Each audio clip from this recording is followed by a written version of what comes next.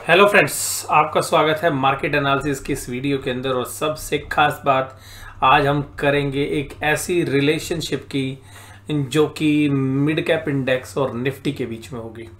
और इसके साथ साथ जो आज हम चार चार्ट पर बात करेंगे निफ्टी के ऊपर बैंक निफ्टी के ऊपर स्मॉल कैप इंडेक्स पे और मिड कैप इंडेक्स पे।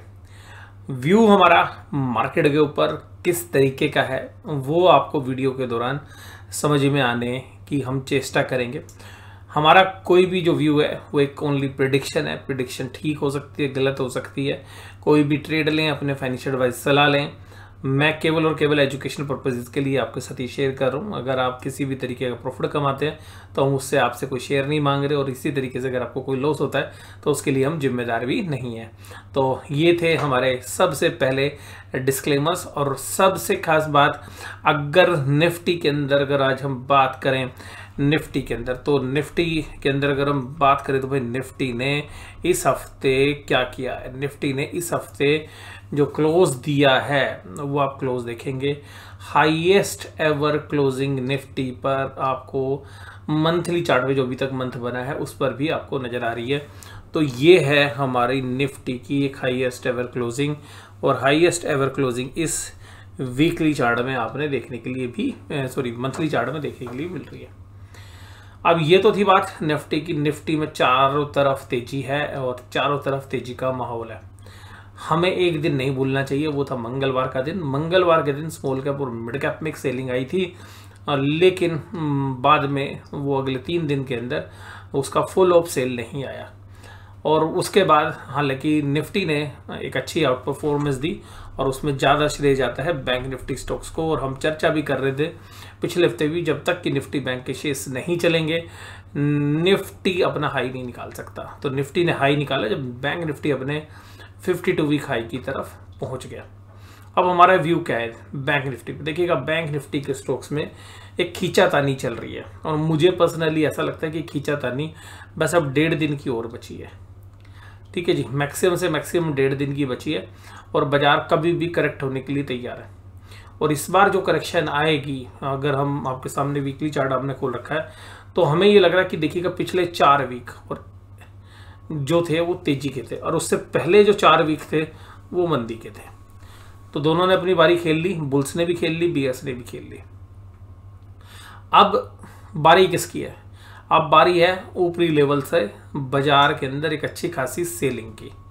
और वो सेलिंग निफ्टी बैंक में भी आएगी और उसका जो श्रेय जाएगा, वो हमें लग रहा है कि जो एक डाइवर्जन हो गया है दो चीज़ों के बीच में, वो है स्मॉल कैप इंडेक्स और जो निफ्टी के मेजर लार्ज कैप स्टॉक्स है उनके बीच में।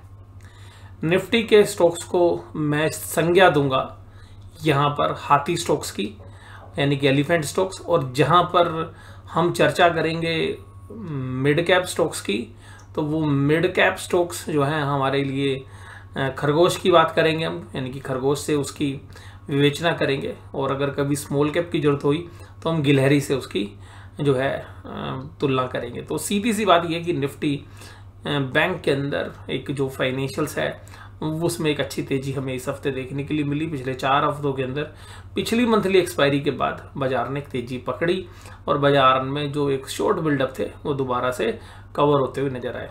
अब हमारा व्यू क्या बनता है कि बाज़ार यहाँ पर, यहाँ कहीं पर?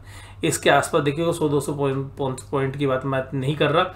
यहाँ पे चलने के बाद बाज़ार एक अच्छा क्रैक इस महीने के लिए दे सकता है।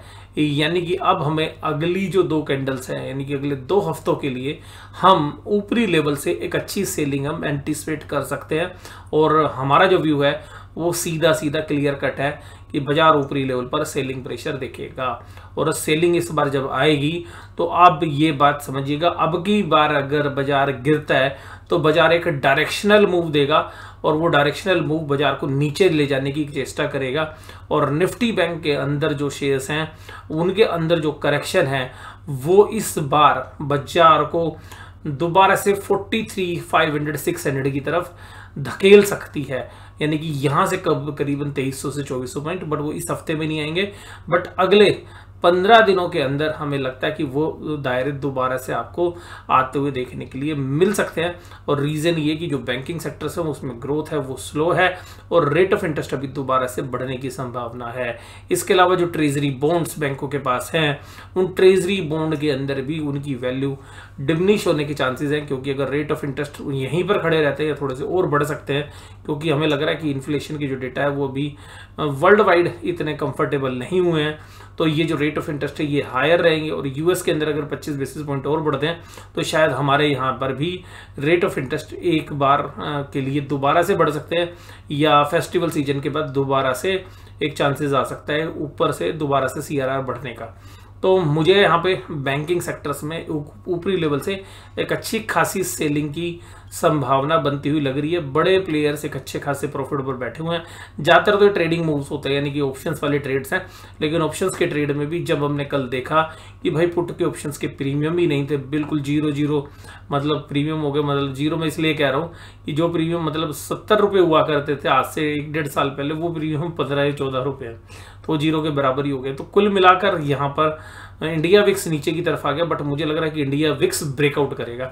और इंडिया विक्स अगर ब्रेकआउट करेगा, यहाँ से एक अच्छी तेज़ी इंडिया विक्स में मिलेगी तो अल्टीमेटली बाज़ार को नीचे आना ही पड़ेगा। अब निफ्टी बैंक।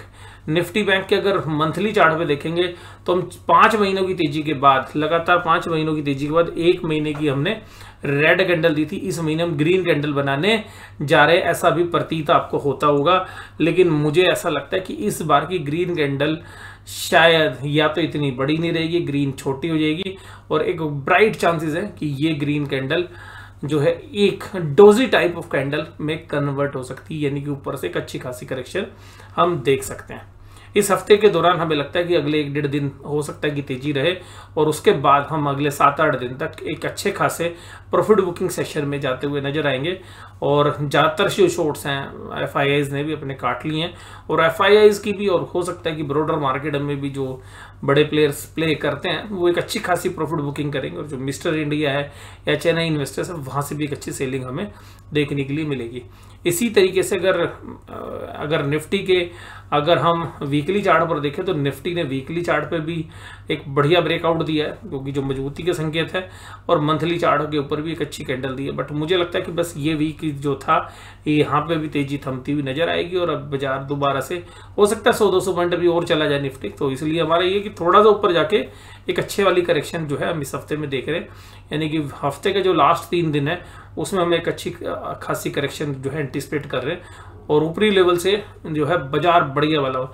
क्योंकि हो सकता है कि जो शॉर्ट्स पोजीशंस बनाई जाती हैं बड़े प्लेयर्स के लिए, उनको भी थोड़ा सा समय चाहिए। और ये भी हो सकता है कि कल आप सोमवार को खुलो और सोमवार को ही गैप डाउन हो जाओ और आपको मौका ही ना मिले। बट हमारा व्यू इस हफ़्ते में, जैसे हमने पिछले हफ़्ते में कहा था कि हमारा न्यूट्रल व्यू है, दोनों साइड रेंज होगी। बट मुझे लगता है कि बड़े प्लेयर्स ने एक अच्छी खासी मंदी की पोजीशन बनाएँगे और यहाँ से एक बढ़िया वाली प्रॉफिट बुकिंग आपको देखने के लिए मिलेगी इस हफ़्ते के दौरान। और इसके बाद अगर हम बात करें निफ्टी मिड कैप, भाई ये निफ्टी मिड कैप का चार्ट है और ये वन डे चार्ट है। वन वे जब कभी भी ऐसे बाज़ार चलता है ना तो भाई ऐसी बड़ी बड़ी रेड कैंडल आपको देखने के लिए मिलती है। ये तो एक इशारा था खाली ये केवल वाटर टेस्टिंग थी कि भाई नीचे कितनी पाएँगे। बड़े प्लेयर्स को पता चल गया, अभी बायर है। बायर में दम है। तो भैया उसने दम दिखा दिया तो उसने कहा, भाई ठीक है, अभी तुमने दम दिखा दिया तो थोड़ा सा और खींच लेते हैं। तो अभी और खींचने के बाद हो सकता है कि थोड़ा सा और खींचे बाज़ार और फिर बढ़िया वाली करेक्शन हो।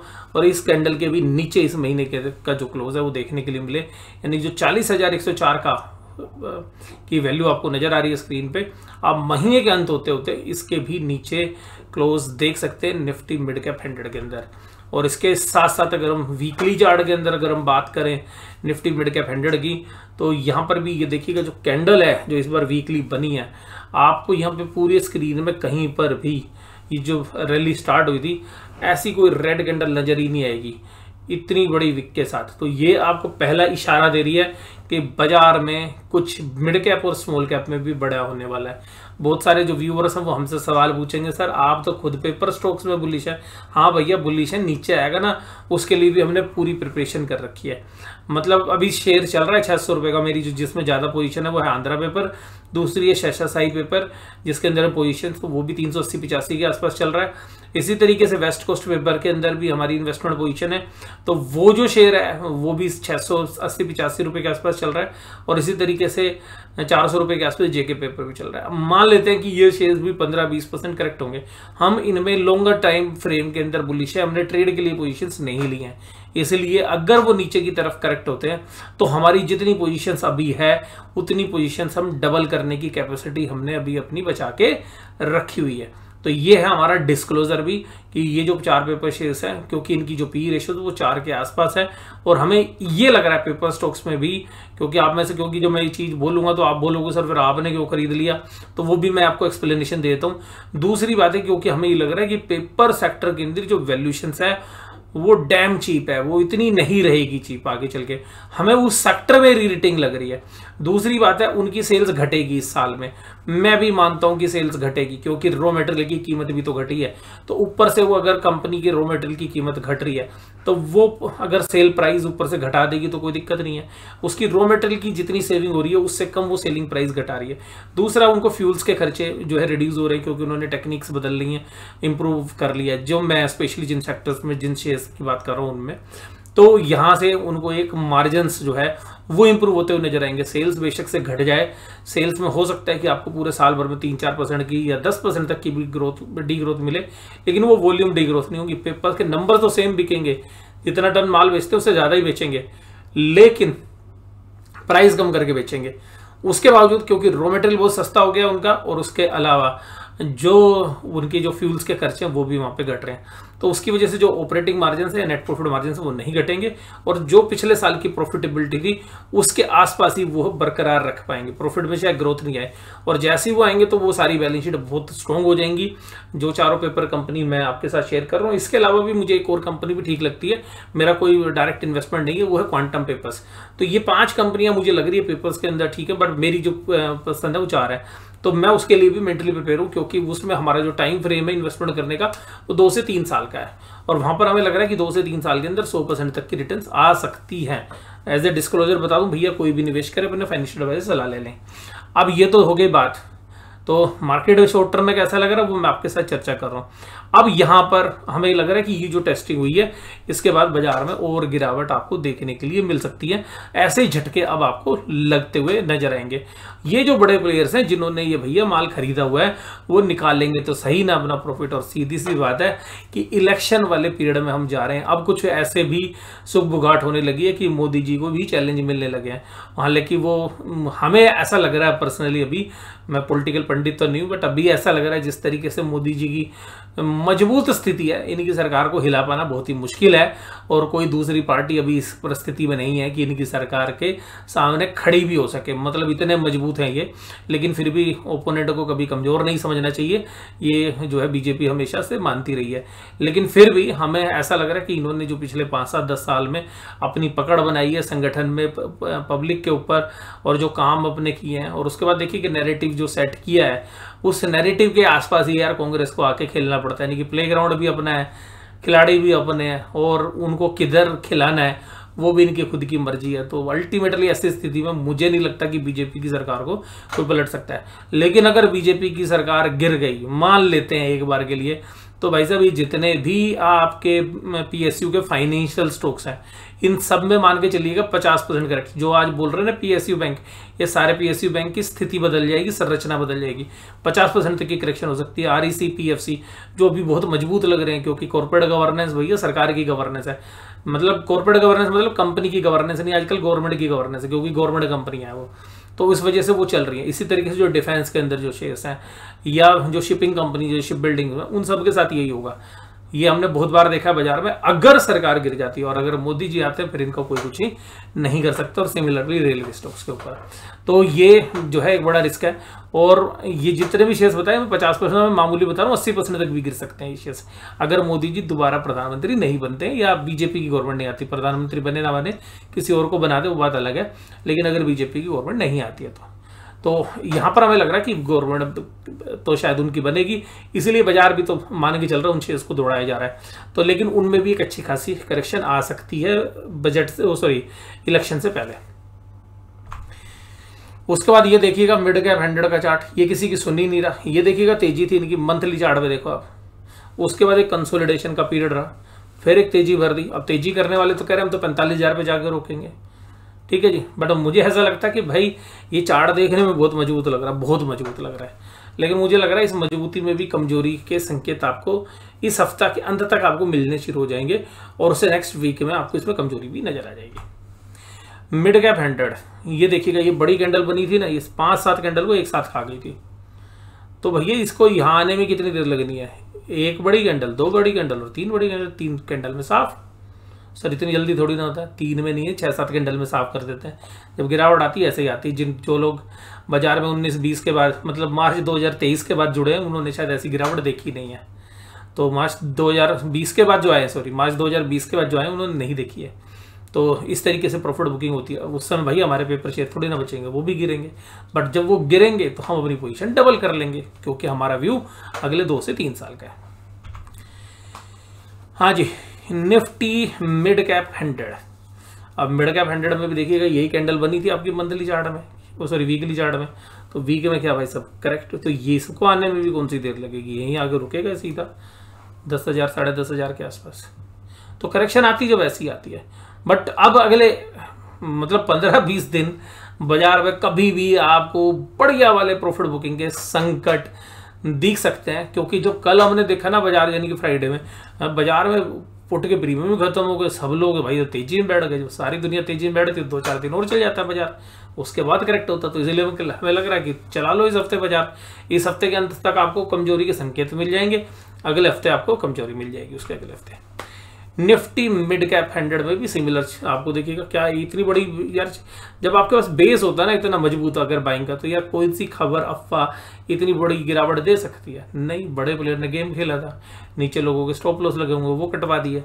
बाद में ऊपर के काट दिए। तो अभी बाज़ार में वोलेटिलिटी भयंकर रूप से लौटने वाली है। और इसके मुझे, इसीलिए मैं कह रहा हूँ इंडिया विक्स ये दस ग्यारह पे नहीं रहेगा। इस महीने के अंत तक बारह और तेरह के बीच में पहुँच जाएगा और हो सकता है अगले महीने तक चौदह पंद्रह ही पहुँच जाए। और इंडिया विक्स तीस से पचास परसेंट तक आपको बढ़ता हुआ नज़र आ सकता है। अब यहाँ पर अगर हम बात करें, ये आपको इंडिकेशंस देखिएगा। मैं ये इंडिकेटर दिखा रहा हूँ आपको C N X mid cap के अंदर और यहाँ पर निफ्टी के बीच में। देखिएगा, इसके बीच में जब जब गैप बढ़ा जब जब गैप बढ़ा तो ये दोनों मिलने के लिए आए। यानी कि दोनों के अंदर, यानी कि निफ्टी के अंदर और C N X mid cap index के अंदर प्यार मोहब्बत बनी रहती है। ये जब साथ साथ चलते रहते कोई दिक्कत नहीं, दोनों अच्छे से तरक्की कर रहे होते हैं। फिर जब ये मिड कैप दौड़ना शुरू कर देता है ना, और निफ्टी नहीं चलता तो निफ्टी ना बुला लेता, बोले प्यार तो कर लो। तो वो प्यार प्यार करने के लिए फिर साथ मिलते हैं, जैसे मार्च 2020 में। अब इन दोनों के अंदर बहुत दूरी हो गई है। ये तो बिल्कुल ऐसा हो गया जैसे कि तलाक के लिए तैयार हो गए बट ये तलाक रहेगा नहीं, ये बहुत ही जल्दी प्यार में बदलने वाला है। तो इसका मतलब है कि आपको यहाँ पर भी हल्की फुल्की करेक्शन भी मिलेगी निफ्टी में। परसेंटेज टर्म्स में क्या होगी? पाँच परसेंट आ जाएगी, दस परसेंट आ जाएगी। लेकिन C N mid cap index जैसे इंडेक्स में पंद्रह से बीस परसेंट तक की करेक्शन और इवन सीवियर करेक्शन भी आपको मिड कैप और स्मॉल कैप इंडेक्स में मिल सकती है। ये गैप ज़्यादा दिन तक रहने वाले नहीं है। ये कोरिलेशन जो है, हम अगर कैलकुलेट कर रहे हैं, वो 2007 से कर रहे हैं, यानी कि एक लॉन्गर टाइम फ्रेम के अंदर कर रहे हैं। तो इससे ये तो इशारे मिलते हैं और आज की वीडियो हो गई है अट्ठारह मिनट की। वीडियो आपको कैसी लगी, ज़रूर से ज़रूर मुझे कमेंट बॉक्स में बताइए। भैया, मेरा व्यू है अपना। आप व्यू के साथ सहमत हो, ना हो, वो आपकी मर्ज़ी। मैंने अपनी राय रख ली है। मेरा अपना व्यू क्या है, वो आपको बता दूँ। अच्छा ट्रेडिंग में भैया अपनी मंदी की पोजिशन है। इन्वेस्टमेंट में तेज़ी की पोजिशन है। तो अगर मंदी आएगी, उसके लिए भी हम तैयार बैठे हैं। तेज़ी के लिए भी तैयार बैठे हैं। और मंदी बहुत ज़्यादा होगी, उसके लिए हम लिक्विडिटी के साथ बैठे हुए हैं। ट्रेड में अपनी पोजिशन तो अल्टीमेटली हम एक तरीके से हैज़ बैठे हुए हैं। और बाज़ार जब खुलता है ना स्क्रीन खुलती है तो उसके अकॉर्डिंगली भैया हम ट्रेड करते हैं, जो इंटरडे में क्लोज भी हो जाते हैं, कुछ कैरी भी रहते हैं। तो इसलिए भैया हमारी बात को केवल और केवल एजुकेशनल पर्पजेज के लिए लेना अच्छी लगी तो वीडियो को लाइक कर देना, नहीं लगी तो डिसलाइक कर देना। और चैनल में पहली बार जुड़े और लगता है कि ऐसी ऐसी वीडियो देखने का दोबारा से से आपको सौभाग्य प्राप्त हो तो भैया चैनल को सब्सक्राइब भी कर दीजिएगा। वीडियो देखने के लिए धन्यवाद थैंक यू वेरी मच